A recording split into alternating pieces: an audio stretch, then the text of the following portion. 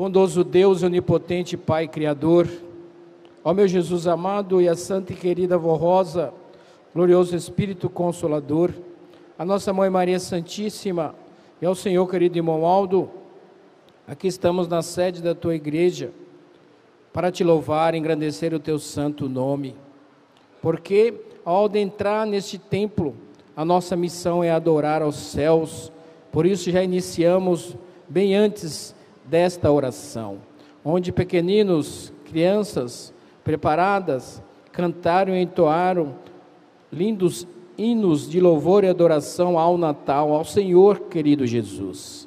E agora, iniciando esta reunião, suplico a interferência dos senhores com todo este poder na vida do nosso povo, em todos os lugares, dos nossos ouvintes do programa Hora Milagrosa, dos nossos irmãos que estão nos prestigiando através da internet. Querido Deus, ajude-os, portanto. Querido Jesus, esteja com ele.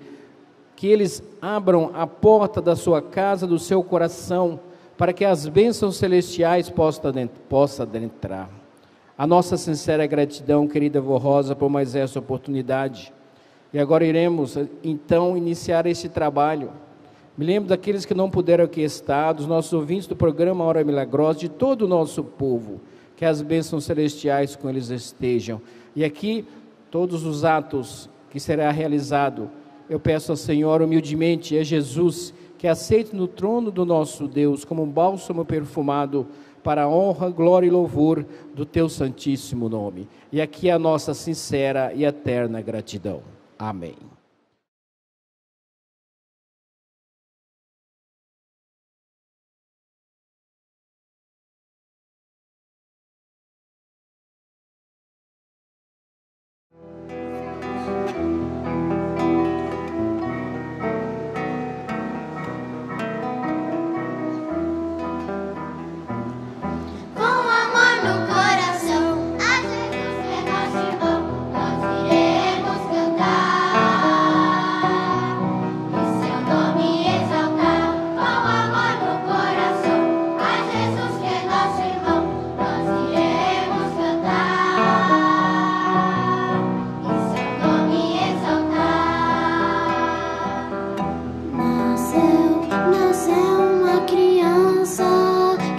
siapa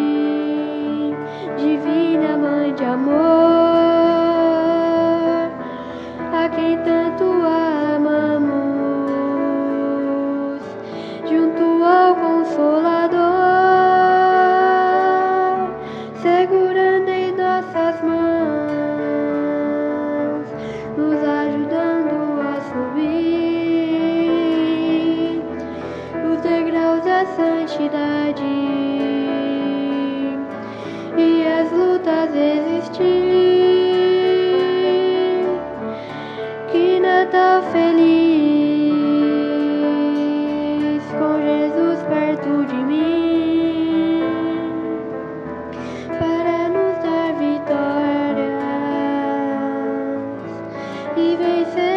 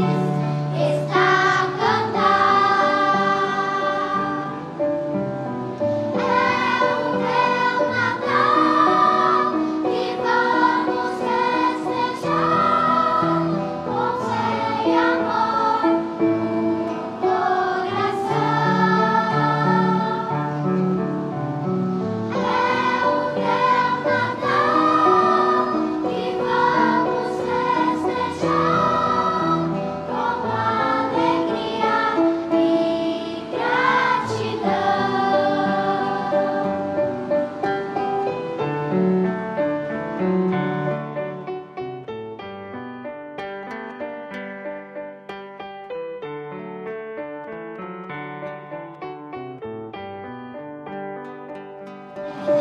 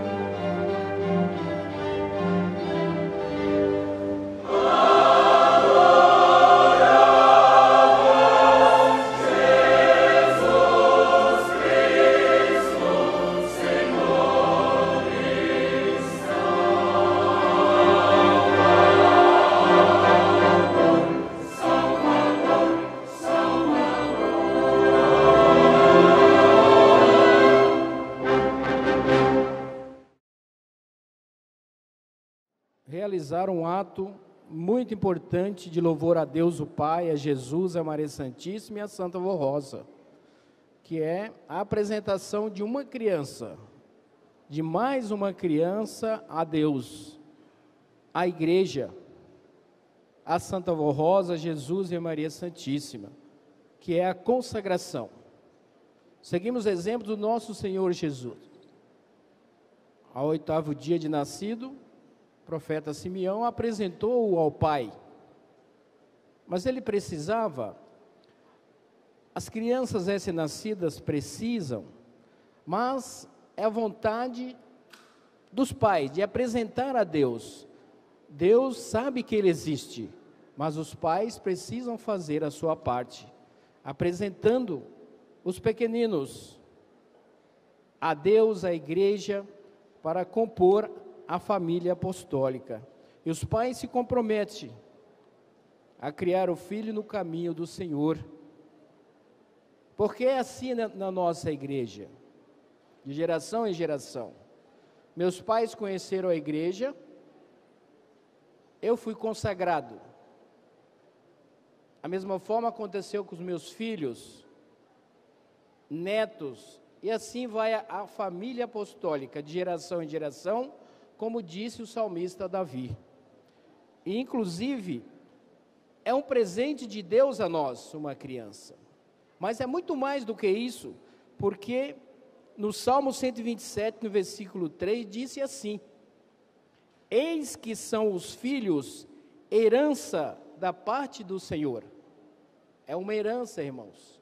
Nós podemos, nós tivemos a oportunidade de ver uma grande herança cantando aqui para nós. E a felicidade dos pais. Agora imagina a grande responsabilidade que tem no mundo que vivemos, irmãos. A nossa igreja já faz um excelente trabalho e agora, através do Instituto Apostólico, muito e muito mais. Através da musicalização, através da, de, uma, de uma língua própria para eles entender, nós temos um boletim especial para as, as crianças, enfim, um grande trabalho. Por isso, tragam as suas crianças, ingresse-os no Instituto, tragam para eles, para eles conhecer a música, para eles crescer neste ambiente apostólico porque esta é uma forma de apresentação, é uma forma de louvar, de adorar o nosso Altíssimo Deus e Pai. Então a herança está em suas mãos, e não há dinheiro que pague, não há riqueza material que pague. O seu filho,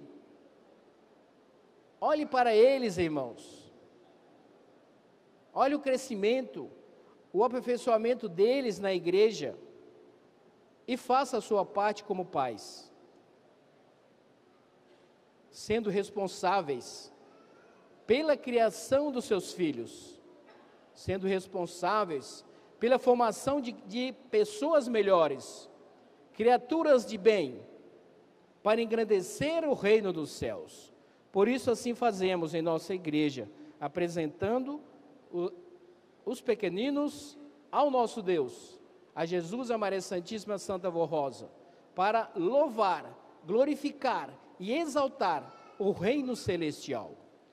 Por isso, eu chamo à frente os pais do Guilherme Soares da Silva Catulé, nosso irmão William e a nossa irmã Fernanda Beatriz, que compareça à frente do altar, para que nós possamos apresentar o Guilherme definitivamente à Santa Vó Rosa, a Jesus, a Maria Santíssima e ao nosso querido irmão Aldo. É motivo de muita alegria, muita satisfação, irmãos, para o reino dos céus, para os santos e anjos que conosco está nesta reunião, santos apóstolos, todo o poder celestial. Convido a igreja para se colocar em pé, que eu pegarei o Guilherme e a seguir oraremos.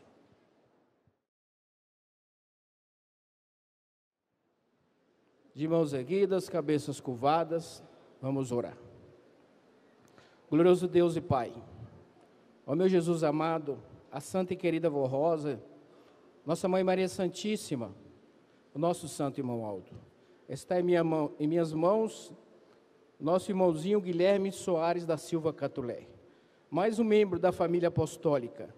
E tenho certeza que os seus pais se comprometeram a criá-lo no temor do Senhor, sob a guarda e a proteção divina. Ajude-o, portanto, Santa Vorrosa, os pais, dando-lhes entendimento e sabedoria, compreensão. Ajude também o Guilherme, para que ele possa crescer com muita saúde e ser um corista, ou quem sabe, um mensageiro da palavra. Assim, Santa Vorrosa, de coração, agradeço a Senhora, Jesus e a Maria Santíssima, e sei que este nome, Guilherme Soares da Silva Catulé, já está sendo registrado no livro da vida, para a honra, glória e louvor do reino celestial. Amém. Vamos cantar o hino apropriado. Esta vida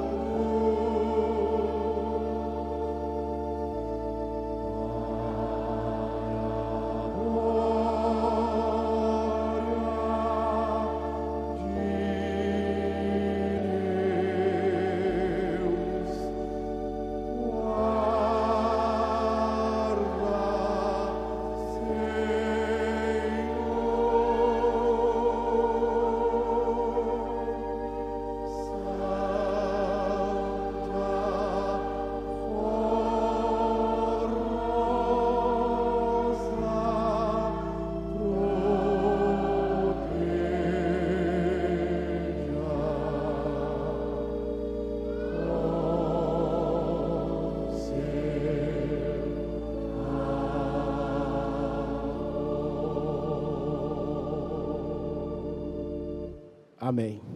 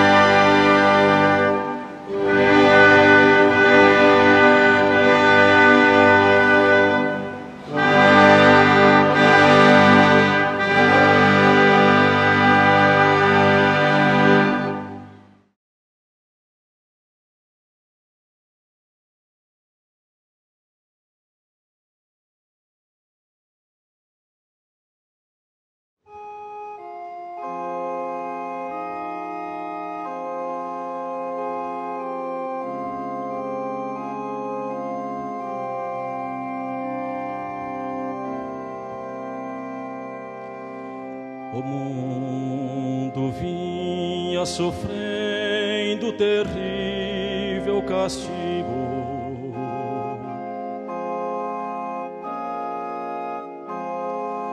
Preso à escuridão,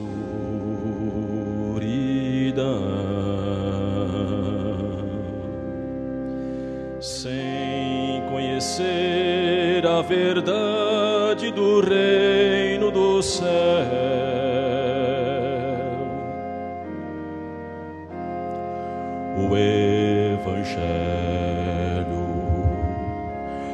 salvação.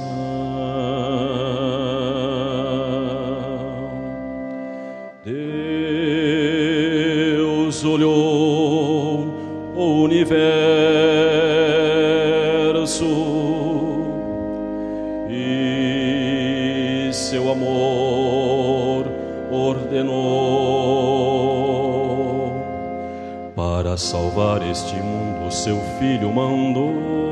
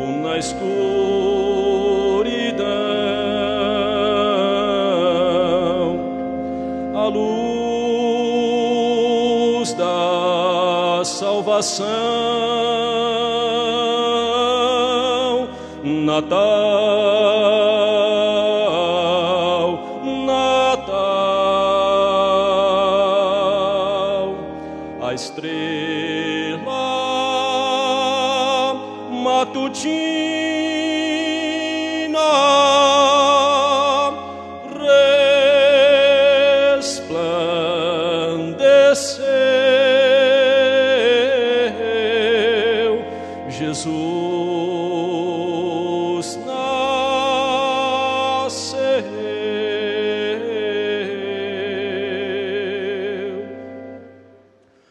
O mundo não suportou a verdade ensinada.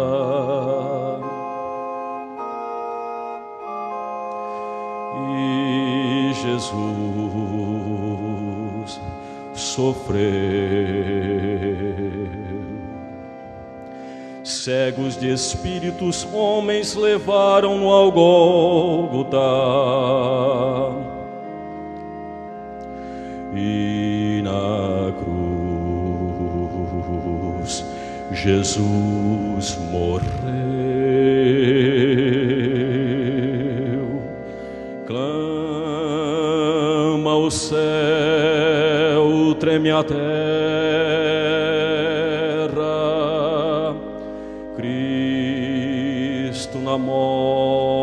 Tombou mas na vitória da vida ele ressuscitou.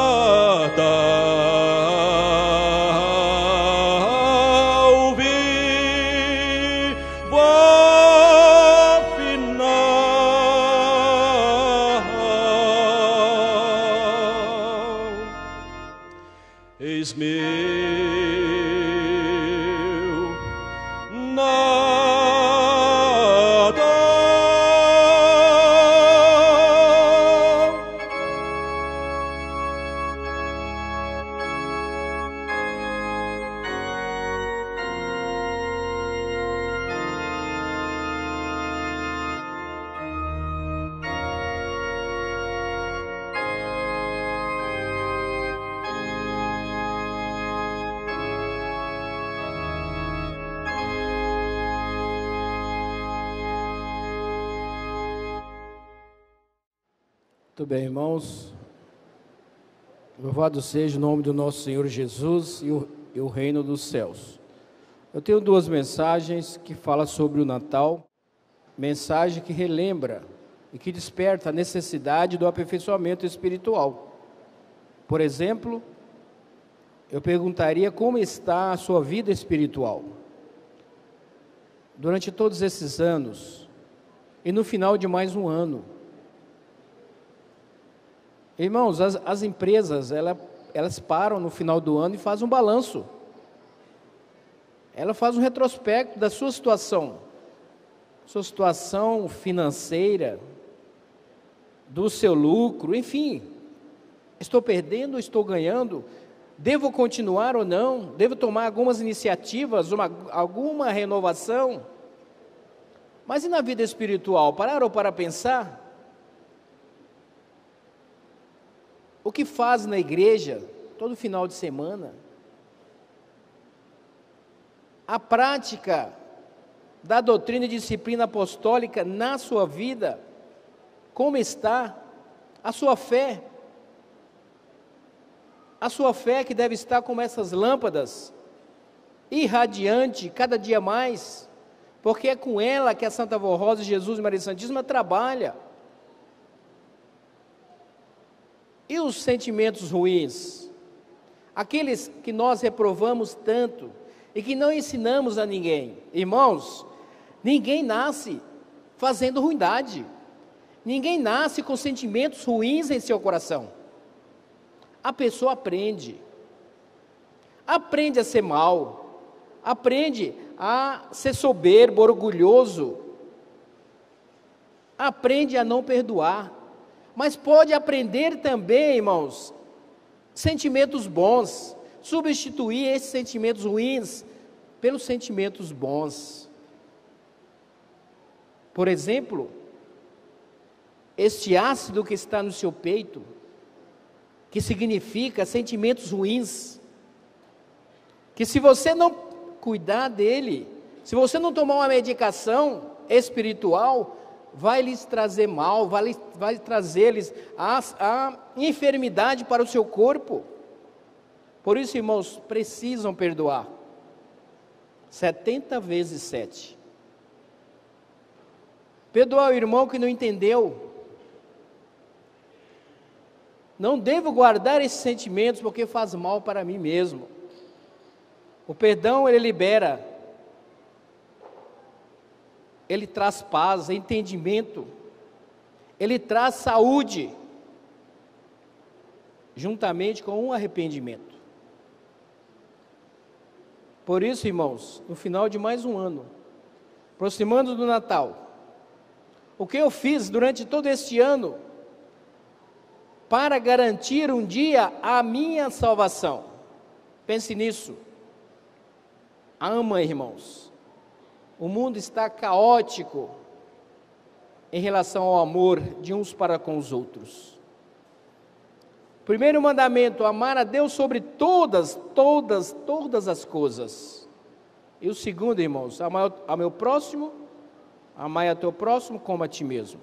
E o terceiro, irmãos, amar a minha família, a minha igreja, viver como verdadeiro filho de Deus, valorizar a minha presença às reuniões, para garantir o meu objetivo, que é quando este corpo, que é terra, nela ficar, o meu espírito está garantido nos céus, e ele retornará como fora criado. E a mensagem disse o seguinte: O Natal foi o início de uma nova era de paz, amor e união. A festa do Natal é a festa do nascimento de Jesus nosso Senhor o príncipe da paz e a criação e formação do seu reino na terra. Este príncipe da paz é o salvador da criatura humana, o restaurador da religião e da justiça, o soberano de um reino eterno de paz e amor, cujo reino não será jamais destruído e seu domínio não tem fim. Ele salva e liberta, opera sinais e prodígios no céu e na terra. Jesus, Filho de Deus, veio restaurar todas as coisas referentes à vida da criatura humana na terra e ensiná-los a viver e a cumprir toda a vontade de Deus e suas leis, Mas a vinda do Divino Mestre só foi possível graças à Virgem Maria, que se entregou de todo o coração a Deus o Pai e ao seu Divino Espírito, para que nela se cumprisse tão importante acontecimento. Entenda esta verdade: Deus, nosso Pai, criou o primeiro casal para formarem um lar, uma família e habitarem a terra na mais perfeita harmonia e paz, e também com a finalidade de criar santos para a sua glória e seu reino. Eles não foram criados num ambiente de desunião, de disputas, de escravidão, de maus sentimentos e guerras, mas de virtudes e santidade. No princípio tudo era belo e harmonioso. A terra era realmente um paraíso, e assim deveria ser para todo sempre. Mas através do pecado, a maldade, a ambição, o orgulho, a escravidão, as injustiças e toda a promiscuidade e imoralidade dominaram, infelizmente, o coração humano. O Natal foi o início de uma nova era, a era cristã. É uma oportunidade para a criatura humana se redimir dos seus erros e de toda a maldade. Jesus veio nos trazer o reino dos céus, reino de justiça, de verdade, de amor, de paz e união entre os homens. Ele nos trouxe a mais perfeita doutrina, que transforma todos os que puderem, puserem, melhor dizendo, em prática no seu viver. Aos poucos, este reino de justiça foi tomando conta da humanidade. E a doutrina do Divino Mestre foi modificando as leis das nações. E então se passou a dar mais valor ao ser humano, à mulher, à família e à liberdade da pessoa escolher o melhor para si e para o seu lar e não mais serem escravos e subjugados pelos mais poderosos, como era no passado, antes de Jesus vir a esta terra, nos trazer a lei do amor e da justiça. Aconselhamos a todos os membros da Igreja Apostólica que dê valor ao Natal de Jesus e à sua vinda, e esta terra, a esta terra, a sua vinda a esta terra. Saibam dar valor à doutrina que ele nos deu e que em nossos dias foi revelada por esta igreja, através da Santa Rosa, o glorioso Espírito Consolador e do Santo Irmão Aldo, de uma maneira completa e perfeita, que não deixa dúvidas. Saibam dar valor a este tempo de salvação, a era do Consolador, do Santo Pastor e de sua Santa Igreja. Entendam que dar valor é viver esta doutrina, é praticar o bem, amar ao seu semelhante, ao seu irmão, é procurar ter paz com todos e ter bons sentimentos, ser humilde e justo em todo o seu viver e ser fiel à disciplina apostólica. Abram seus corações e deixe que a luz da estrela de Belém ilumine sua alma, sua vida, seus pensamentos e todo o seu ser.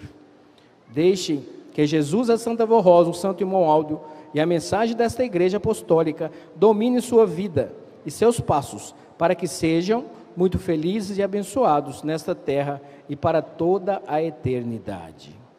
A linda história de Natal, a anunciação do nascimento de Jesus, o nascimento do Messias, o enviado de Deus foram profetizado e anunciado pelos profetas do passado. No devido tempo, Deus Pai enviou o anjo Gabriel a uma aldeia da Galiléia chamada Nazaré para falar a uma virgem chamada Maria da descendência do rei Davi. O anjo apareceu a ela dizendo: Salve, ó cheia de graça. O Senhor Deus é contigo. Não temas, Maria, pois achaste graça diante de Deus.